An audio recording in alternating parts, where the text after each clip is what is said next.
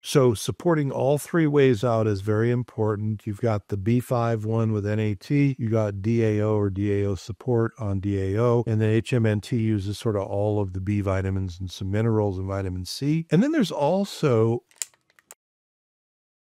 Hey, I'm Dr. Welcome to the YouTube channel. I use this channel to answer questions. I've been involved in teaching and research in the integrative and naturopathic medical community for over 30 years now, and I've been practicing for a very long time, and I get lots of questions. So this is just an easy way to answer them. We've done lots and lots of content on here about histamine problems, allergies, mast cell activation, mast cell disorders, and I wanted to answer a question we probably get every day, which is, can you break down just a really close, tight grouping of the things that might be able to be done beyond drugs like antihistamines and steroids to help with the histamine in my body. So, usually, our problem with histamine is we have too much of it and we're trying to get rid of it. And we might already be taking an antihistamine drug, whether it's over the counter or prescribed, might be on steroids if we're real bad or other stuff. So, all of these things I'm about to tell you are things we commonly use. They have different effects on people. And obviously, this is not medical advice. Please seek your own medical advice, but just tell you what we commonly use. So, there's three major places to interact with histamine in the body. Now, there's other related things, but there's three major targets. One is to slow down the release of histamine from the mast cells and other cells that produce histamine. So slow it down on being released. One is to increase, speed up the metabolism of histamine out of the body. And then the third target is if all of that fails, to block the histamine when it attaches to your cells and causes the inflammatory reactions that histamine causes.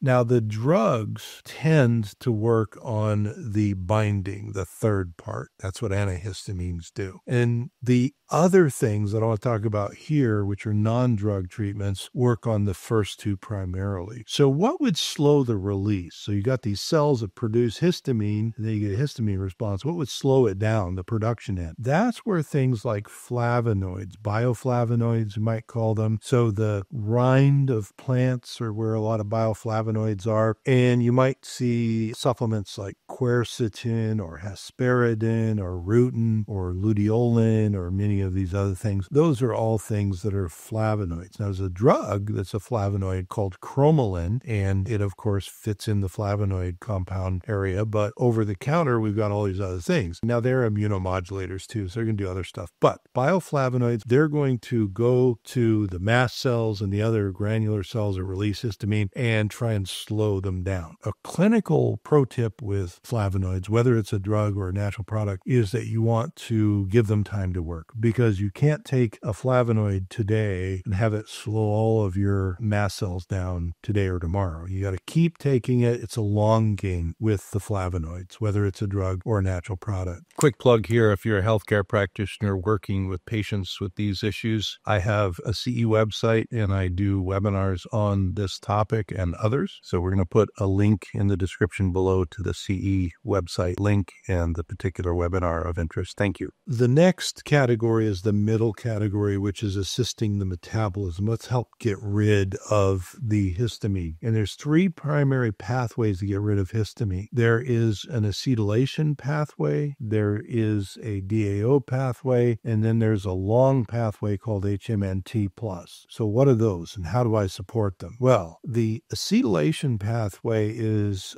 run through N-acetyltransferase, NAT, and that is a single pathway. It's like a release valve on histamine, and it's supported by a single nutrient, primarily vitamin B5, pantothenic acid. So, a lot of times we'll give vitamin B5 in higher doses to people to help support acetylation through N acetyltransferase. That actually carries histamine partly out of your body, so very good. The other pathway that's fairly short is the DAO, diamine oxidase pathway, which used to be called histaminase, but now we just call it DAO. And you see there's DAO supplements. Now, some DAO supplements are actually the enzyme diamine oxidase, which is not a bad idea because a lot of DAO is in your gut. There's DAO elsewhere, but the DAO in your gut. So that can be supportive. Also, DAO uses cofactors, the, the enzyme, and some support supplements for DAO are the cofactors, which are vitamin B6, magnesium, vitamin C, and sometimes copper. And so sometimes those are used to support DAO as well. And the third way out is a big long train. So it's a bunch of enzymes stacked up. We call it the HMNT or HMNT plus pathway because it starts with histamine N-methyltransferase. And methyltransferase enzymes usually use methyl donors. So that would be methyl B12 methylfolate. Now, one caution is if you have histamine problems and you go and you take methyl B12 and methylfolate and you speed up the HMNT, the first way out for histamine, but you can't run the rest of the pathway, which we're going to get to, you'll build up more methylhistamine. And methylhistamine might make you sicker temporarily. So, with a lot of people, you don't know what your tolerance is to methyl B12 methylfolate, or you've taken methyl B12 methylfolate and you got worse allergy symptoms, then you should not take that and fix the rest of the pathway and then take the B12 folate later on. But that's the first step, methylation. The next step, though, where things get stuck is the cousin of DAO over here, and that's MAO, monoamine oxidase. Now, you hear about MAO inhibitor drugs, those are used for depression and other stuff in, in the central nervous system. Monoamine oxidase is very important because it gets rid of a ton of things, not just histamine. Monoamine oxidase, second step in the HMNT plus pathway, and it helps to